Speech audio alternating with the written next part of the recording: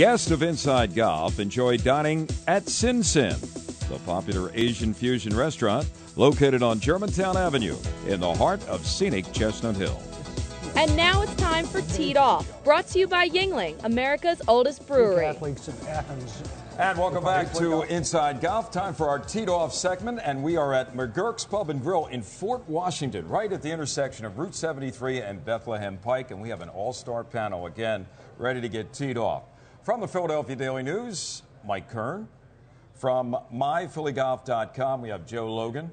And sitting to my right, right in the center of things, the proprietor of McGurk's Grill, John Dolloway. Hey, John, thanks for How having us. Uh, thanks for coming. Okay. You know, guys, one of the integral post round traditions in the game of golf, the 19th hole.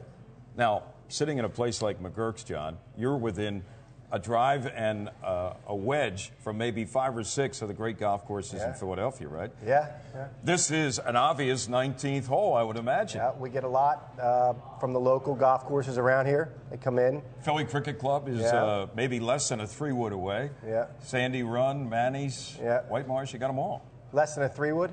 I was going to say that. We got yeah, some right. big hitters. We got some big hitters there, John. But let me ask you this, Joe. Where did that tradition, do you know, of the 19th hole start? As long as there has been have been golfers and beer, it's you know uh, they've made for each other. I, I'd say it goes back to the uh, uh, Greek athletes in Athens. Uh, they probably They play golf? not golf, but they uh, played a little sport and had a little. Uh, Scots have been known to tip And the the Scots? back. Well, originally, Mike, the way the golf course was laid out at St. Andrews, right? They came up with 18 holes because that's how many holes it took them to finish off a, a bottle of scotch, right? Uh, fifth of like the single malt. Whatever. Yeah, I, mean, that's isn't that actually tradition? when you're over there too. I got to tell you, some of the, the, the I'm not a big drinker, but some of the best places I've ever sat after a round of golf were over in Scotland because they sort of, I, may, and maybe that has something to do with the but they they put it in places where you're overlooking views that are just like you go, wow, Right. you know, and you're drinking single malt, which is never a bad thing, or some of that dark beer, or you know, whatever, Now, or some- both. Somebody suggested to me the reason is there's a 19th hole is because nobody wants to go home. I don't know if that's true or not, John. Huh? Well, You don't mind You that, want do the good time to continue with your buddies. You know, it's a day out. You got to rehash all those Yeah. birdies and others. You want to go home? Is that is that what we're talking about? right? it's Well, not this- like the wife wants to listen to you. Now, McGurk's is also actually got its start down in the Baltimore area, right? Right, You have yeah. what, two or three places We have down three there. places down there. Yeah, and uh, we would come back. Uh, I would come back on a Friday, uh, hit the hit the links uh, up here. Um, I, I was uh, I probably should have been home, but I was. Uh, they didn't know that. You got a pass, right? Yeah, there you go. Now, you get some Baltimore golfers coming into your places down there. too? Yeah, yeah, we do. Yeah. What's the one? Uh, Cave Valley. Cave that- Valley, oh, that's yeah. one of the more Yeah, that's famous courses down there. That's a nice. That's a nice. Uh, if, you, if you can get on there, that's a nice track. Well, I'm sure a person like oh, yourself uh, sure. has no oh, problem. Yeah, no that. problem. No problem. But, but talk about you know this whole tradition of of 19, sometimes I mean the 19th hole is the best hole. Joe, would you agree? Well, certainly the most refreshing because I need, frankly, I've swung at the ball so many times by the time I finish a round of golf. I need uh, an adult, adult beverage and a little time to, uh, to rest, to gather myself up to go home. I think a lot of it's not so much the drinking, or I think it's the camaraderie. You sit around and you rehash your round. Uh, that, that's what golfers do. You know, it's always that shot they left out on the 14th or the putt they made on the 10th to take two bucks out of your pocket or something. You know, and then you, you, you wash it down with a few, and, and everybody has a good time. Maybe you go out and play another 18. Well, yeah, as long as you don't have too many washes. But and the other thing is you're sitting probably in close proximity to three or four other groups who you don't know, but by the time the 19th hole's over, you're best friends with some people. A lot right? of lies getting told, Right. a lot of exaggeration. Absolutely. Yeah, it's a great tradition. And do you have any famous 19th hole locations, Joe, that you can share with us? Besides McGurk's, of course. McGurk's, yeah. Uh, I actually live near here and come here. Uh, you know what? My favorites tend to be places that are not fancy and not famous, just sort of cozy, hole in the wall golf courses where the guys get together and sit down and, and uh, talk about their round, like Mike said.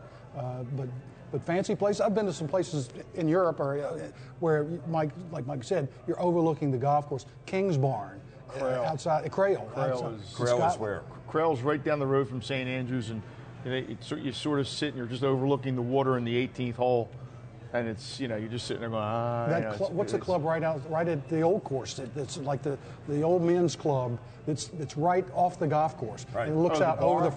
Yes. Yeah, I can't think of it now. Oh, there, yeah, there's But a bar right- there. Believe me, he's I- been there. This I- guy's been to I've- practically every 19th hole in the I world. mean, they take it serious over there. that's That- saying that's something- huh? The 19th hole is more important over there than the 18 that you I played. got you. Well, it doesn't get any better than McGurk's. We want to thank John Dalloway for his hospitality here at McGurk's Pub and Grill in Fort Washington. Next time you're looking for a good 19th hole up here, stop at McGurk's. Inside Golf continues in just a moment. Teed Off has been taped on location at McGurk's on Bethlehem Pike in Fort Washington, PA. Come to McGurk's to check out all the excitement of March Madness. They feature great drink specials and live music on weekends. Check them out at McGurk'spub.com. To the duffers, the hacks. We've been there. To the three and four putters, we learned. And to the Rough Riders and Sandmen, we're ready to teach you. To everybody out there who thinks they can't play the game, the over 28,000 PGA golf professionals say, We're here to help you discover or rediscover the joys of golf. To you, and you, and you, we're here. The Philadelphia Section PGA is here to teach you. Play golf, Delaware Valley. Colleen Wolf's wardrobe is provided by Adidas, the leader in men's and women's apparel for the athletic golfer. Next week, we stay in North Carolina to visit the newest addition at Ocean Ridge Plantation, Leopard's Chase. Director of Marketing Bill Long takes us to his favorite par 3.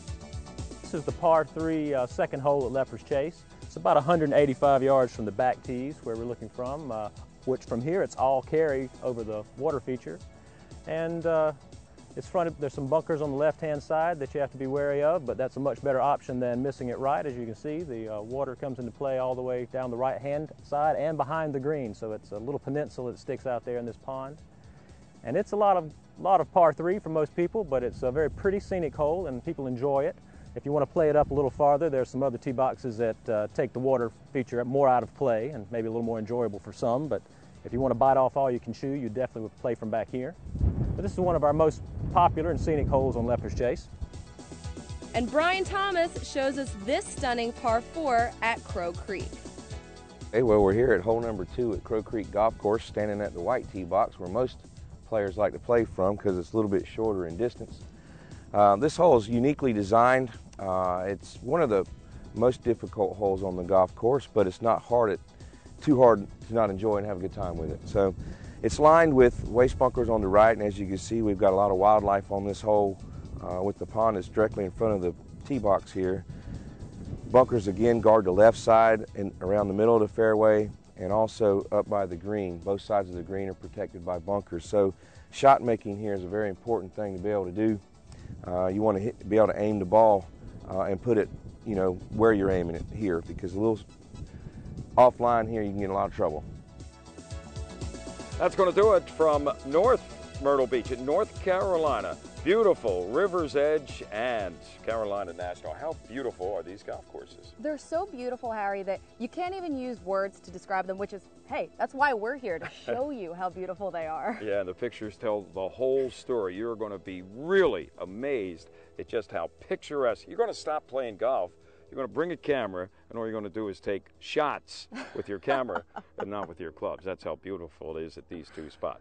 Next week, we will continue back down south of Myrtle Beach, and we're going to be at Leopard's Chase and also Crow Creek, right along Route 17, both of them, right? That's right, and you can't miss these two courses because, again, two great, great courses right here in Myrtle Beach.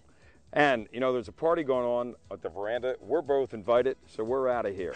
for Colleen Wolf, I'm Harry Donahue. Remember, no matter how bad it's going for you, and I don't know what's going to happen up there on the veranda, don't pick up. We'll see you next time on Inside Golf. Inside Golf has been brought to you by Yuengling, America's oldest brewery, and by Myrtle Beach, South Carolina. Now fly nonstop on Spirit Airlines. Details at philly2myrtle.com. And the Philadelphia Section PGA, celebrating 90 years.